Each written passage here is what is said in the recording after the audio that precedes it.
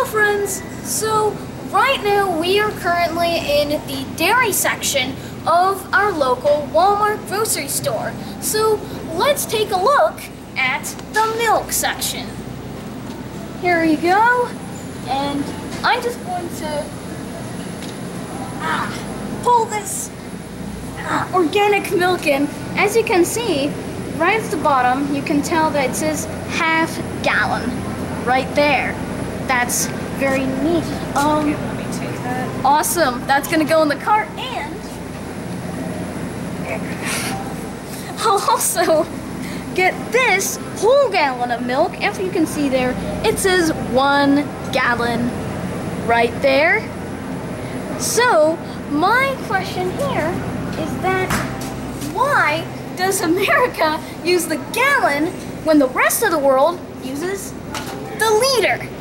Well, actually, I think I know the answer to that. Awesome. So, you see, the thing is, whenever. So, America uses the imperial system, which is now called the US customary system. However, it didn't use exactly all the units that it originally had from Britain. Rather, Britain used multiple gallons, and America only chose one of them, which was the Queen Anne wine gallon. And that is the gallon we know and love today, and is seen in both this and this, in the full gallon and the half gallon. That's And a that's really great explanation, Amrita. And I'd actually like to add something too. Come with me because All there's right, one more go. interesting exception to the gallon rule. Come on, let's go. And it's in the form of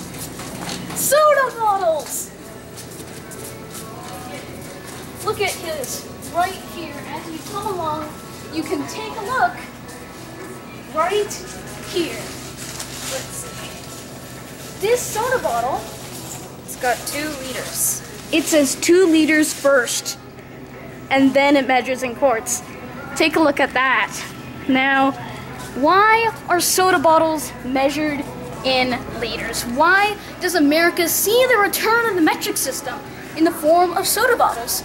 Well, it's because of PepsiCo, which are the team who makes Pepsi and a lot of other drinks. So, here with Pepsi, um, before, in the 60s, almost every single soda bottle was actually made and written in the US customary system gallons, quarts, pints, so on.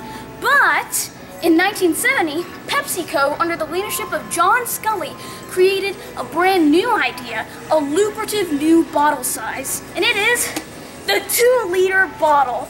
This revolutionized the soda field. It was an instant smash hit when it reached the markets in 1970, and since then, every single other soda company uses this 2 liter bottle. Now, the term 2 liter has been used to describe any soda bottle, no matter its size, and that's why America uses gallons, except for the soda bottles, and the rest of the world uses liters.